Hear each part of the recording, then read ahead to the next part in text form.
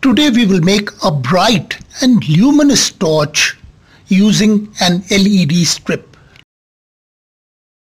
You will need a small plastic box, a 9 volt battery, an on off switch, connector, wire and a LED strip. Take the battery connector and remove the plastic from the wire ends to expose the copper. Take a small wire and join the battery connector in series to an on-off switch.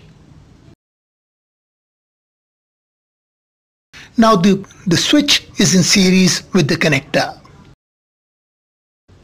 The LED strips can be bought by the meter. Cut a length of 3 LEDs from the strip. Affix a 9 volt battery to the battery connector. On connecting the leads of the battery to the LEDs, they will light up brightly. With the help of the switch, you can turn them on or off. Now cut a rectangular slot in the plastic box to house the switch. You can operate the switch with ease. Then house the battery inside the box. Make an opening for the battery leads to come out. Stick the LED strip on top of the plastic box and then connect the battery leads to the LED.